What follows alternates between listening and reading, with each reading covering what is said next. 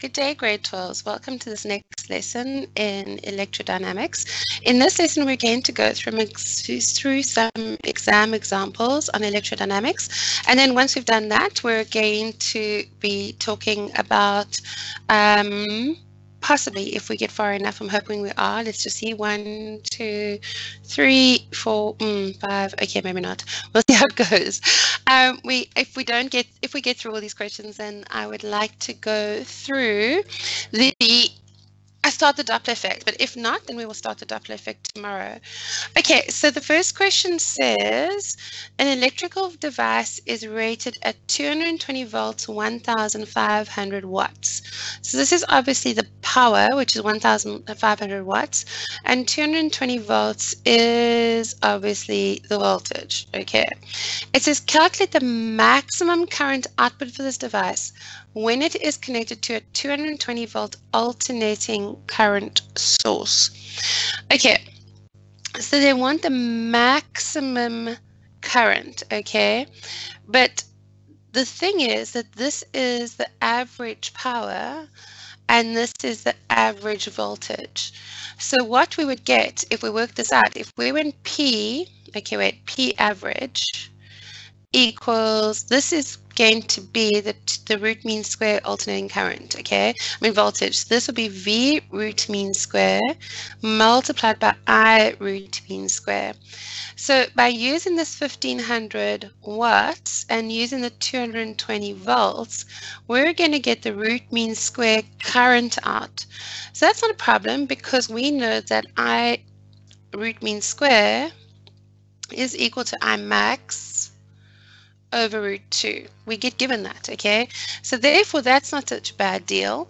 Um, so therefore, if we can work this out by dividing both sides by 220 and cancelling and then just dividing, oh, that's not the calculator. So let's go back to this and then get the calculator out. So if we divide this, we go 150 divided by 220, whoopsie, no, 220, do you agree that we get 0.68? So the root mean square current, I root mean square current is 0.68. So now to find the maximum current, we need to take our root mean square and multiply it by root 2. So we're going to get 0.68 multiplied by root 2, and that's going to give us our maximum current out. So let's multiply that out and you need to even though this is 0.68 I want you to change it to 0.68 so that you're clearing and you're starting again with two decimal places 0.68 multiplied by root 2 equals 0.96. The maximum current you're going to get out, the maximum, is going to be 0.96 amps. Okay, which isn't huge, but that's fine. You don't need much more than that anyway. Right, for the specific device. Now, the next type of question says we've got a simple motor. So the first thing you always do when you read these questions, these questions, is you make sure that you've read them carefully, okay? And when you read them, make sure if they tell you if this is a motor or generator. At the moment, you can't tell whether it's a motor or generator, except for maybe the plus or minus, okay? You need to read it. It says a simple electric motor. Okay, so that means we know this is a motor. It's connected to a DC power supply okay? It says when the motor switched on, the coil rotates. In which direction will the coil rotate? Write down only clockwise or anti-clockwise. Okay, so most importantly, you need to decide which hand you're going to use. And you should know by now that the motor is your left hand. It's Fleming's left hand motor rule. Left hand motor rule. So we know that we're going to be using our left hand. So I often say to my students, don't suddenly become shy and stop using your hands in class all of a sudden just because you have to do a funny sign that looks like you belong to a gang. Feel free in the exams and wherever to make your little signs that look like a funny seven or whatever with your fingers. Okay, obviously you can't see me doing it. So now you just have to follow with me. Okay, the current we always use the conventional current in our motor and generator rules, is going from positive to negative. So I can't see the rest of this side coil, so I'm going to use this coil, and the current is coming down here. Okay, so let's look at this. The field is going from north to south. So the field, which is my first finger, is going from north to south. So at this point, your, your left hand should be pointing from your left to your right, okay? The second finger, which is the middle finger, is coming towards me out of the page. So that is coming towards me. So that should be pointing towards you, which means that your thumb should be pointed up this way. Okay, so that means that this, the thumb is pointed this way. That means it's rotating around like this, and we can say it is going clockwise, clockwise. Okay, now it says suggest one change would result in the coil turning in the opposite direction. Um, well, there are a couple of things that could happen. I'm going to suggest couple. The first thing we could do is swap the magnets. Okay, if we made this the south and that the north, then obviously it would cause the force to be in the opposite direction. Or if we swap the direction of the current. If we swap the direction of the current, then obviously the coil would turn in the opposite direction. So there are two changes that I've given you. They only wanted one. Right, let's do the next part of the question. It says an electric motor is connected to a power supply with an EMF of 6 volts. It lifts a load of 3 newtons through a height of 0.8 meters in 2 seconds. Hmm. I really like this question, but that's just me. Okay, see the diagram below. So you've got your 6 volts, you've got your EMF, you've got your, which is your 6 volts, you've got your height 0.8, it's lifting a load which is a weight of 3 newtons. It says determine the reading on the ammeter if 80% of the electrical energy in the motor is converted into lifting the load at a constant speed to a height of 0.8 meters. Okay, so now listen. First of all, we need to say that you should know that there are a whole bunch of equations for power. Power is work over time, which is equal to VI. Those are the only two that are coming into play over here. Okay? The reason that's important is because we have been given the voltage, 6 volts, right? We can work out the power okay? And if we work out 80% of that, we can then work out the current, okay? Oh no, yeah, if that's only 80%. Okay, so it says determine the reading on the ammeter if 80% of the electrical energy in the motor is converted into the load on the constant speed. So the first thing that we need to do is work out the power, okay? So power is work over time, power is work over time. Why am I bringing that into effect? I'm bringing that into effect because the fact that they've told us that they have moved a mass, a weight in fact, over a distance in a certain amount of time because work is also F delta X. So therefore we can say power is F delta X over delta T. So we've got the force, it's 3 newtons. We've got the height is 0.8 meters, and we've got the time it took, which was two seconds. So therefore we can say, well, let us now work out what the power was. Okay, so let's do that. So 3 times 0.8 divided by 2 equals 6 over 5, so it's 1.2. So that's 1.2 watts. Okay, 1.2 watts. But now they said that, oh, this is only 80% of the electrical energy, only 80%. So we need to find out what the 100% was so that we could actually find out how much current was used.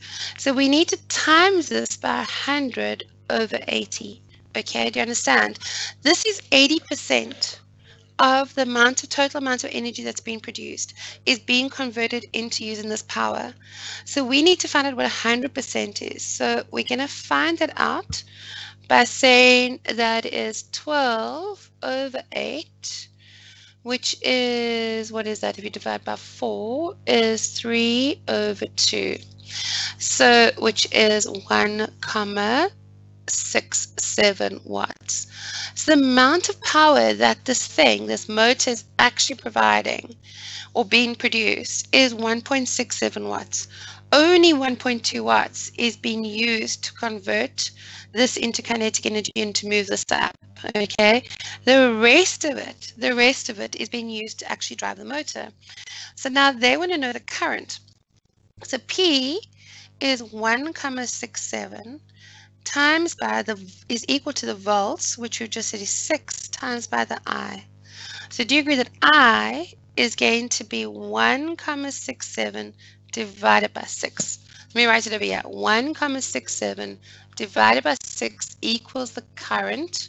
So now if I get out my calculator and I go 1.6, oh, uh, didn't say point, delete, delete, delete, delete, point six seven seven divided by six equals SD, which is 0.28.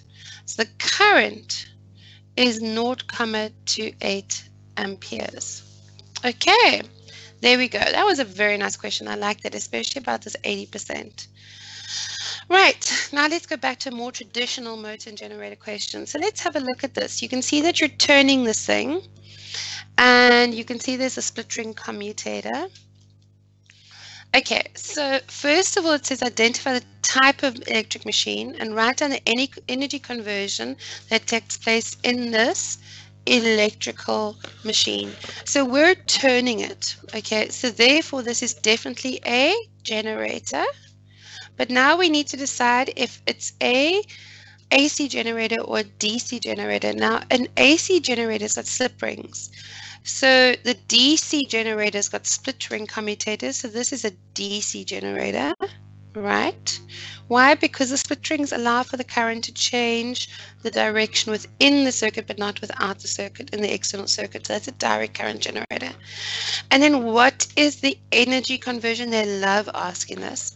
The energy conversion is from kinetic energy.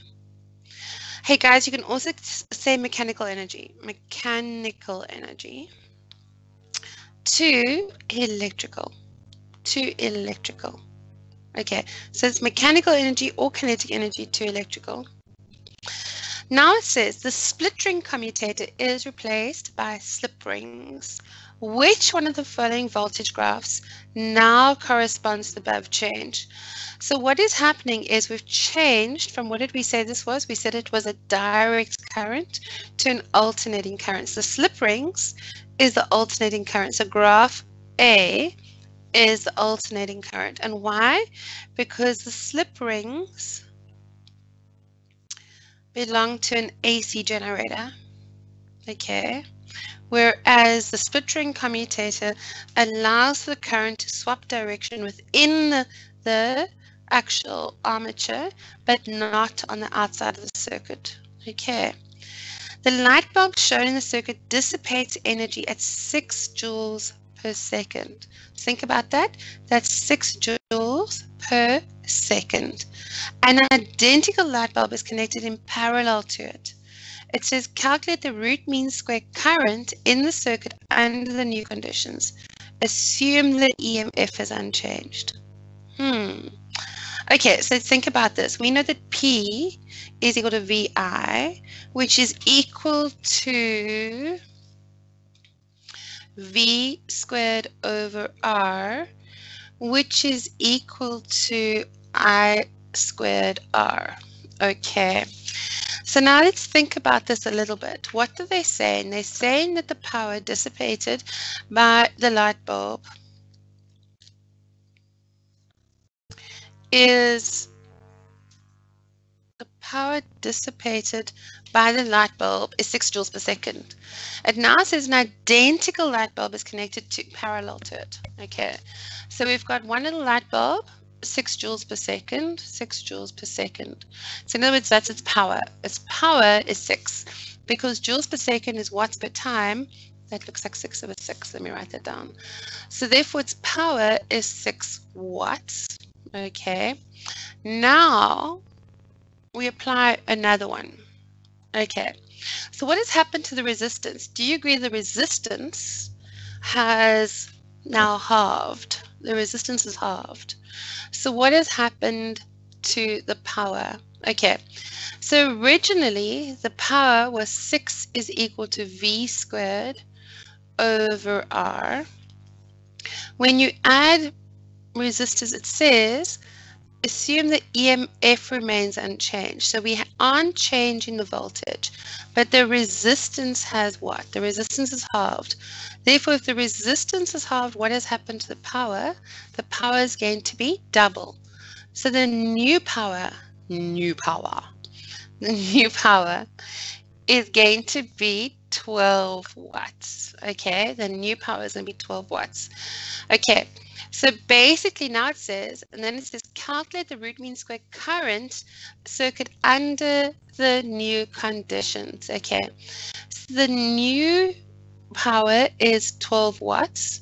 And then now I want to know what is the current, I root mean square.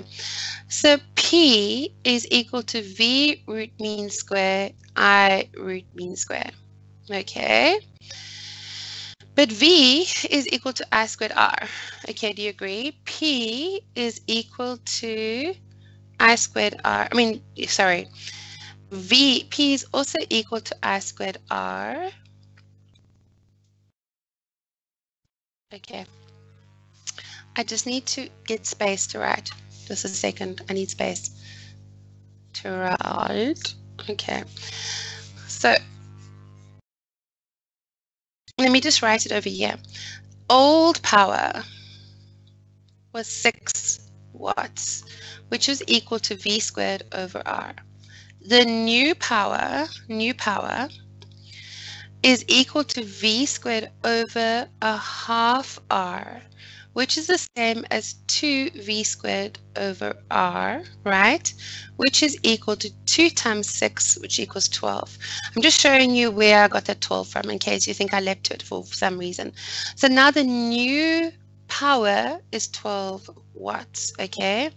But now under the old power, we had the power, old, was equal to v root mean square i root mean square, right? So 6 was equal to v root mean square i root mean square, okay? So do you agree that i root mean square in the old one was equal to 6 over v root mean square, okay? And now, now we've got a new one. But, so we know that the old I root mean square was, okay, let's do it another way. Let's do it another way. Sorry, sorry, sorry, sorry. Let's do it another way. sorry, I know what the answer is, but I can't just jump into it. I have to explain it to you guys. So therefore, you can say that, let's do it this way. So we can say V root mean square is equal to 6 over I root mean square. There we go, I root mean square. Right, that's the old one. Now, now we've got the new power. 12 watts, which is also equal to V root mean square times by I new root mean square.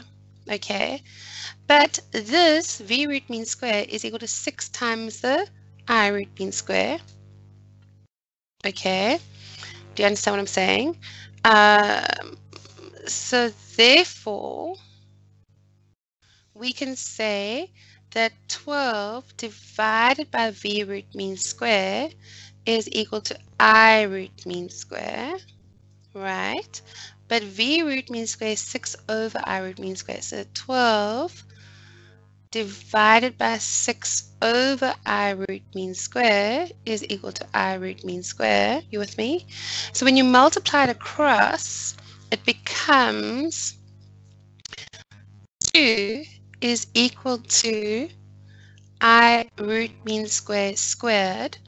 Therefore, i root mean square is equal to the square root of 2 which is equal to, just hold a second, let me clear it, square root of square root of 2 equals, that doesn't help, 1.4. So the new current is 1.4 amps. Whew. Okay, there we go. Nice, hey? Now it says, in the graph below, the solid line represents how the EMF, the solid line, represents how the EMF, okay, I just want to make sure you can see what I'm talking about, the solid one, represents how the EMF produced by simple generated changes with time, okay? So now, okay, we're not going to do it again. That says now the dotted line shows the output of the same generator after change was made. Okay, so let's have a look at this. Do you see the amplitude has doubled? The amplitude has doubled. Okay. And do you also see that the frequency is doubled? Before, it would take 0.2 seconds to complete a circuit, whereas now it's taking 0.1 seconds. So therefore, we can see that definitely we are increasing the amount of turns we're making per time. So let's have a look at this. Is there a reaction? Yes, there is. The amount of turns in the coil is doubled is not going to affect how often this, how quickly we are going to complete a circuit. So it's not that, okay? The split ring commutator is added. If it's a generator and we add a split ring commutator, we end up with a DC voltage or current. That's not it.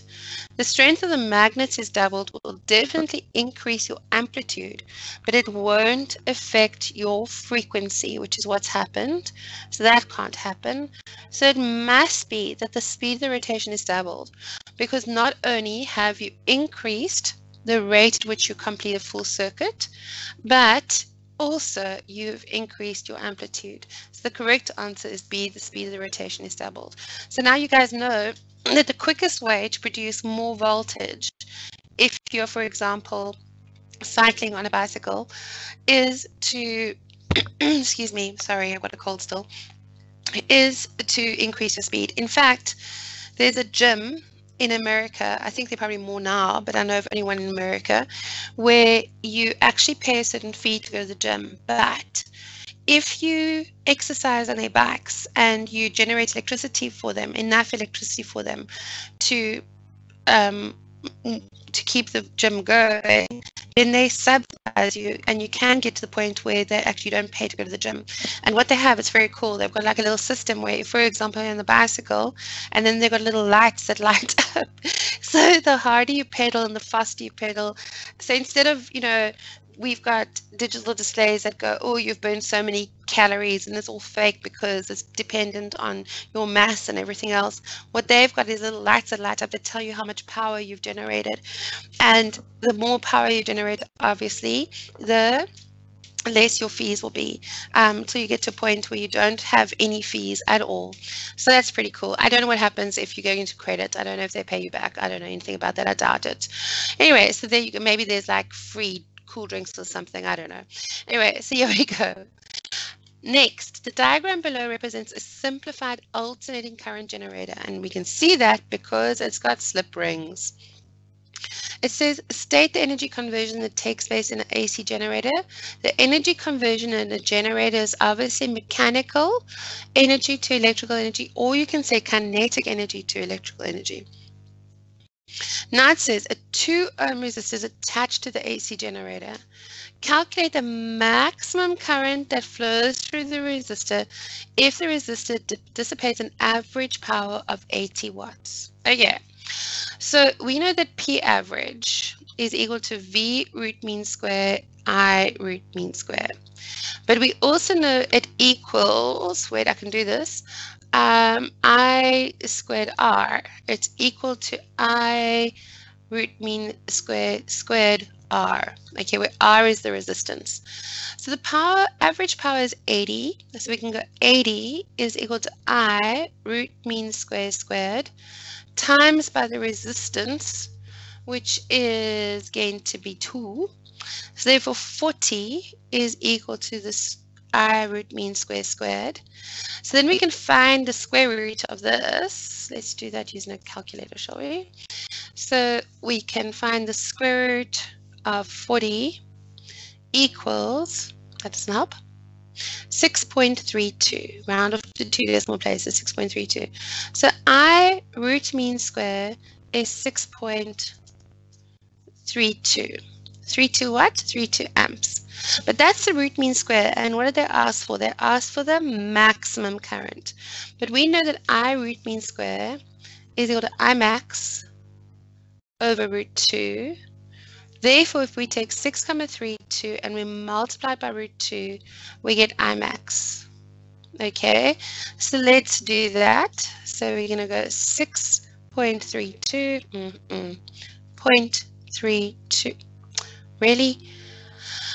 0.32 multiplied by root 2 equals 8.94. Because remember, we look at the 7, we round it up, so it becomes 8.94. So therefore, I max is equal to 8.94 amps. There we go. Not such a bad question. Eh? It's quite a nice question. Now it says on a totally separate note, a television, okay, so to erase all the ink. A television is switched off on, on for an average of 142 hours per month. The television is rated at 1,200 watts to 20 volts. Eskom tariff is 125 per unit. Calculate the monthly cost of electricity used by the television. You know what? This is not in your curriculum anymore. This is using, um, yeah, this isn't in your curriculum anymore. How cool is that? That's very cool. Okay, Doppler effect. We've got time. We've got 15 minutes. So let's get started with the Doppler effect. Okay, so the first thing I did was I took a thing from um, Sheldon and the Big Bang Theory, and I played for you, but unfortunately you can't really hear. So I'm going to put my mic really close to the screen. So just hang on.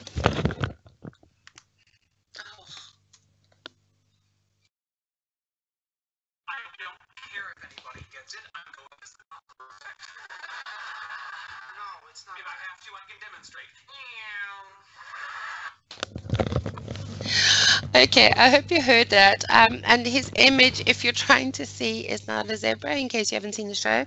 That's actually an image of the Doppler effect lines, and I will show you what he's talking about in a minute. So that, for me, geek humor, I'm sorry, but there you go. That is Sheldon from the Big Bang Theory, explain the Doppler effect. But what is the Doppler effect? The Doppler effect is apparent change in the observed frequency of a wave when the source or the detector moves relative to the transmitting medium. Okay, so that's really big words. What we're saying is that if you are making a sound and I move relative to you, or I stand still and you move relative to me, then it could be I could perceive there to be a change in frequency. And that's kind of what Sheldon was showing here when he went, Eow! because what he was saying was that as a car was going past you, it might start from having what sounds like a low fre high frequency to a low frequency, depending on whether it's coming towards you or away from you. So the Doppler effect occurs when the source of waves or an observer move relative to each other. Also, we could both move, okay, but you guys don't have to worry about that too much. Resulting in the observer measuring a different frequency of the waves than that the frequency is actually being emitted. So let's look at this animation. So we've got a source. It could be anything. It's producing waves. Okay, so at the moment, at first it was a fire truck producing sound waves. This is a sun producing um, light waves. And here is a duck, and he's producing water waves like a ripple in the pond. So it doesn't matter whether we're talking about sound waves, water waves, or light waves. The Doppler effect works the same way. And admit that sound does is a longitudinal wave, and, so, and the the rest are transverse waves, but the principle remains the same. Okay, so they're all emanating from a single source, okay? So now what happens when the single source starts moving? Okay, so if the single source starts moving in one direction, do you see that what is happening is that as the source is moving in the same direction, in this direction, there is a compression of the wave fronts. These are the wave fronts, right? And it's because the source is moving in this direction, the, these wave fronts are being compressed, whereas these wave fronts are moving further and further away. Okay, I know it's a bit hard on the eye, but have a look now. See, again, going in the opposite direction. Oh, I hate when it does that. Just a second. When it's going, let's just see if I can start it. Okay, when it's going in the opposite direction, you can see, now if I'm looking at it from this side, I will see waves that are being compressed, whereas if I'm looking at it from this side, I'm seeing the waves getting further and further apart. Okay, so the Doppler effect is a apparent change the frequency of a wave caused by the relative motion between the source of the wave and the observer. Now you guys are in grade 12, so I'm going to say this again. When it comes to your definitions, you need to go look at your exam guideline. Your exam guidelines have all the definitions you need to know for matric, and they've got them perf perfectly worded, okay? If you do not state your definitions almost word perfect or just about word perfect, you're going to lose out on marks, okay? Because there are huge debates about whether or not you actually understand the definitions well enough to be able to um, state them in a different way. Okay, it's not my argument, I'm just telling you what they say. So you guys need to state the definitions word perfect and or word perfectly. Now, I know it's ridiculous, but it needs to be done. Secondly, it's not actually ridiculous, there's a reason. And secondly, um, what you need to know is that if you if you leave out a word, they've been nice sometimes. Sometimes they'll say, okay, fine, we'll give them some of the marks, and sometimes they will give you no marks. So let's just have a look at this definition. It says the Doppler effect is the apparent change in the frequency of a wave caused by the relative motion between the source of the wave and the observer. And that's the whole point about this definition. If you leave out the word apparent, this changes. It just says the Doppler effect is a change in the frequency of the wave caused by relative motion, and then is no real change. It's only an apparent change because we perceive it as so. The person that is producing the source of sound, whether it be, or the thing that's producing the sound, the source itself, whether it be the fire engine or the duck or the sun, are not actually changing the frequency that they're giving the waves off at. We're perceiving that the frequency change changes because of the relative motion.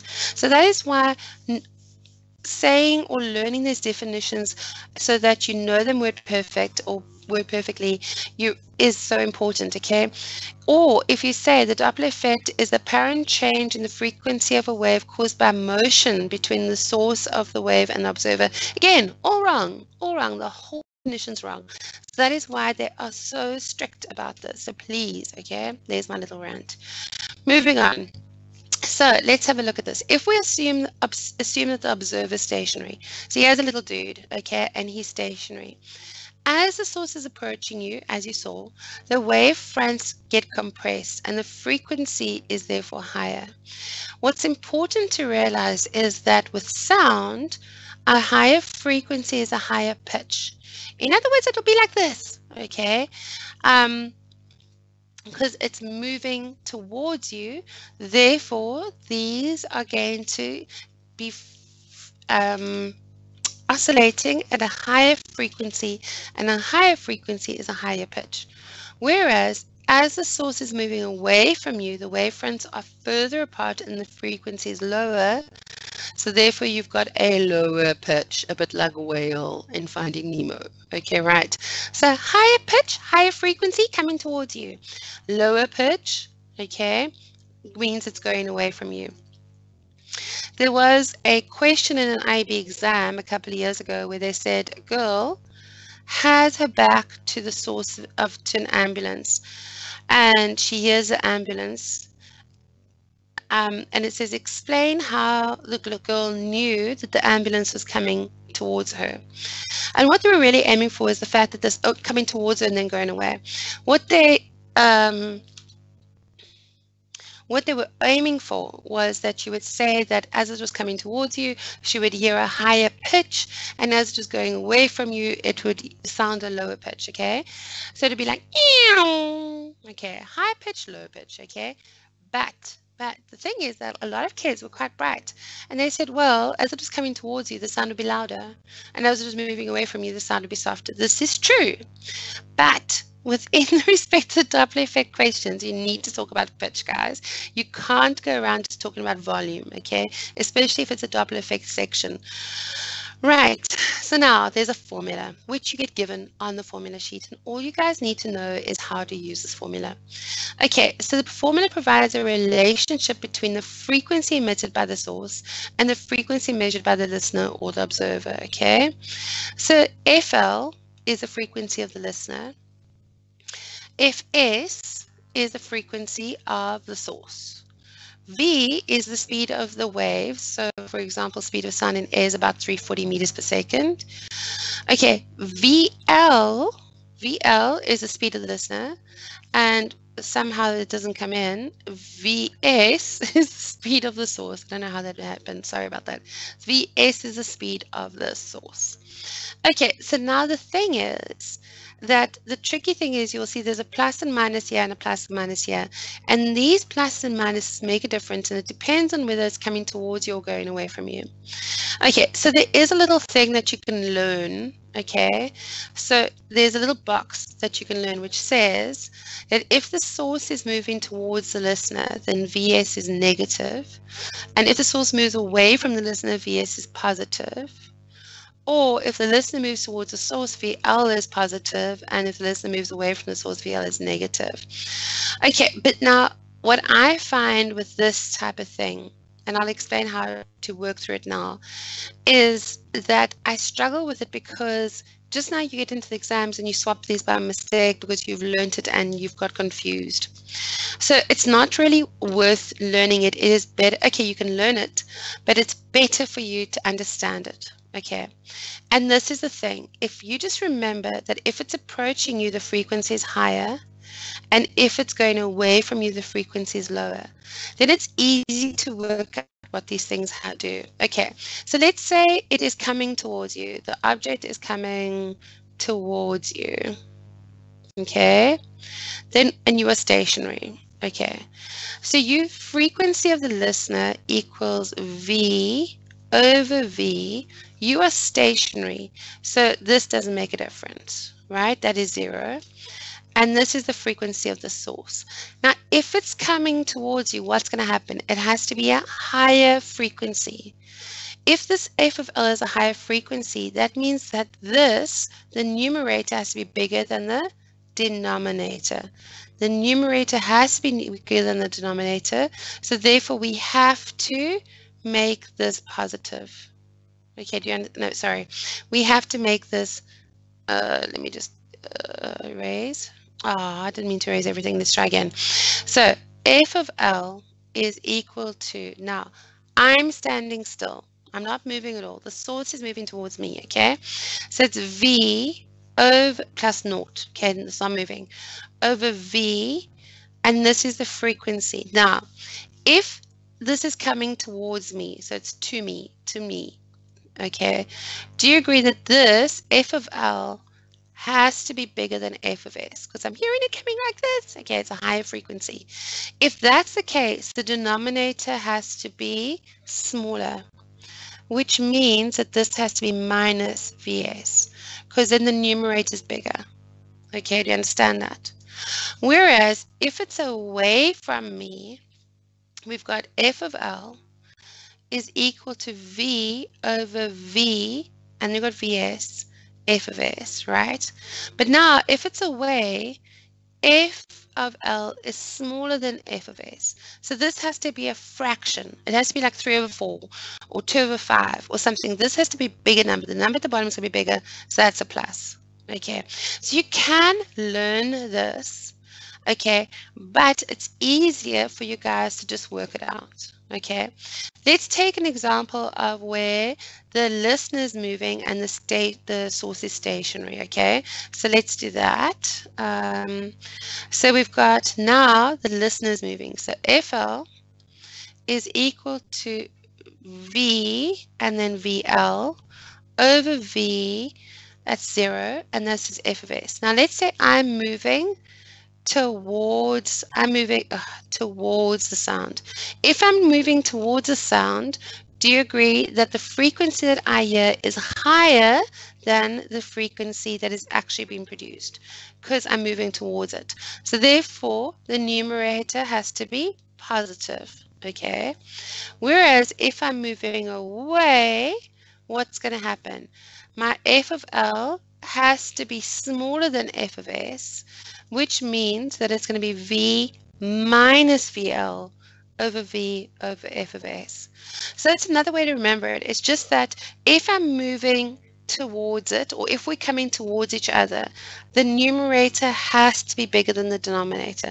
The number at the top of the fraction has to be bigger than the number at the bottom of the fraction. If we are moving away from each other, it has to be a proper fraction. In other words, the numerator has to be smaller than the denominator. Okay, so we're going to love and leave it at that. And what we will do is tomorrow we will do examples where we put this into practice. Right, have a great day.